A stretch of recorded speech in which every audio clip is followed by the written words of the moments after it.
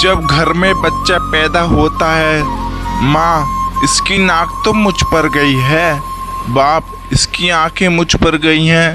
चाचा, इसके बाल मुझ पर गए हैं। माँ, इसकी स्माइल मुझ पर गई है। और वही बच्चा जवान होकर जब लड़की छेड़ता है तो सब बोलते हैं, पता नहीं हरामखोर किस पर गया है। ये बड़ी अच्छी बात कही है।